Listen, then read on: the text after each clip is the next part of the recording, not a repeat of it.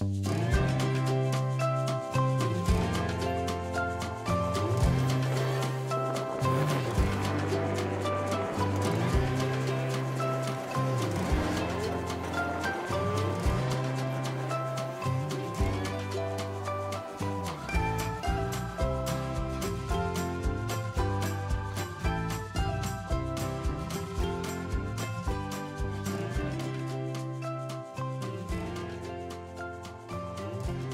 いつも動画をご視聴くださいまして、本当にありがとうございます。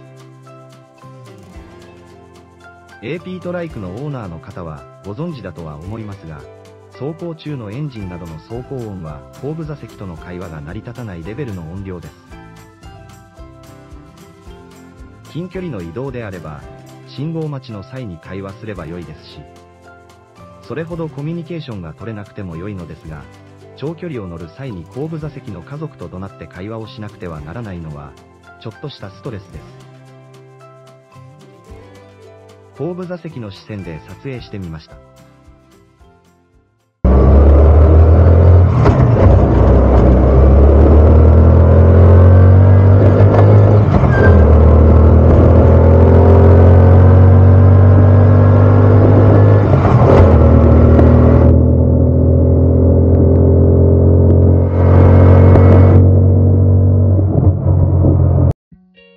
後部座席の人が発する声は、運転者の耳元なので、なんとか聞こえるのですが、運転者の声は運転中は当然前方を見ているため、後部座席には届きません。結構、怒鳴るくらいにしても聞き取れない場合が多いです。実際の運転者が走行中に声を怒鳴るとこんな感じです。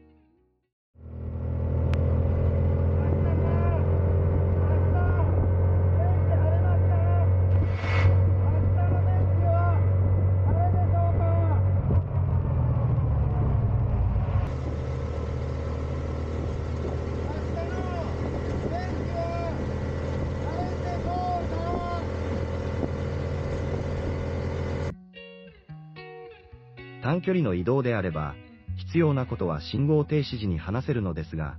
長距離の移動の場合、車内で家族の会話がスムーズにできません。そこで、バイク用のインカムや通話アプリの導入や、LINE 電話で Bluetooth の外音取り込み機能付きのイヤホンや、骨伝導イヤホンと使って通話するなど考えたのですが、後ろに2人子供と3人でコミュニケーションを取りたい。簡単な装備でないと、結局使わなくなりそう。高価な装備は避けたい。そんな理由もあって、以前イベントの仕事を手伝った際に使用した。安い中華製のインカムタイプ覚醒器を使っております。Amazon で2000円以下で購入可能で、覚醒器以外にも、SD カードや USB 入れた音源を流したりできるようなのですが、覚醒器でしか使用しておりません。運転手のみ、軽く装着するだけなので、後部座席の人には、装備がいらない手軽さ。特に子供に装備するのは難しい、3人での会話も OK なので、お手軽に騒音走行中の鉱石との会話が可能な方法かと思います。実際に運転者がインカムタイプの覚醒器を使用した場合は、このような感じになります。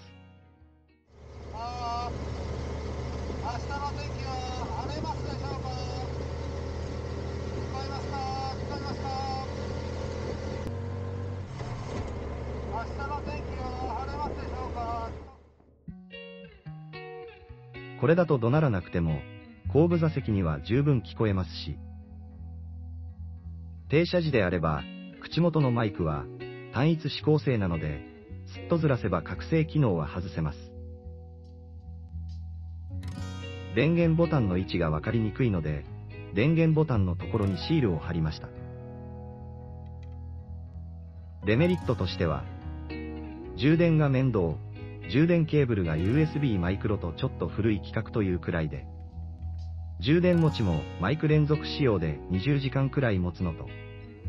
お値段もお求めやすい値段なので、1台あると便利かと思います。お子様がいる場合は、別途つけているバスボタンと組み合わせることにより、リアルなバスごっこができます。つけているバスボタンは、音声が7パターンあります。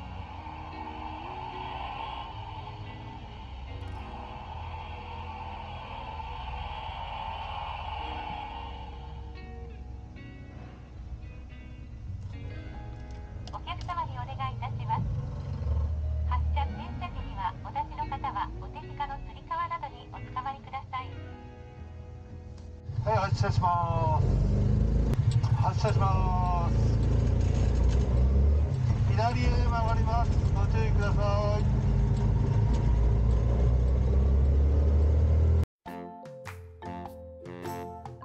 バスボタンは AP トライク購入してすぐにつけて子供にも好評だったのですが子供は割とすぐに飽きてました。拡声器を使ったバスごっこでバスボタン人気も復活したのですが、短距離の移動が多く、拡声器を持って出かけなくなったので、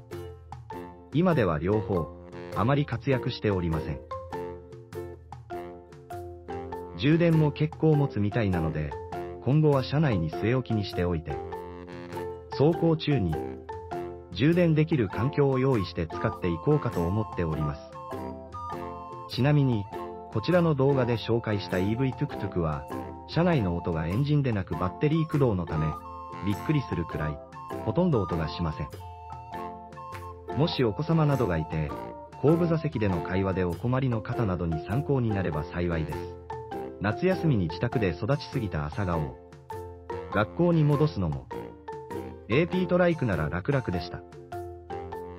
最後までご視聴いただきましてありがとうございました。またよろしければ、チャンネル登録などもしていただけますと幸いです。